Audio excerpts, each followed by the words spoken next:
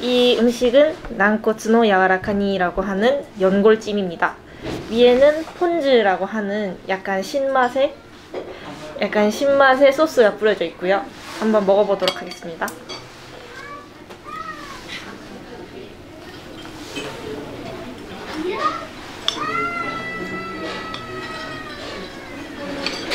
음. 연고를 4, 5시간 동안 우렸다고 해서 굉장히 부드럽고요. 폰즈라는 약간 신맛이 나는 소스가 뿌려져 있어서 약간 시큼한 맛도 납니다. 한국의 연골찜이랑은 조금 다른 느낌으로 신맛이 좀 많이 납니다.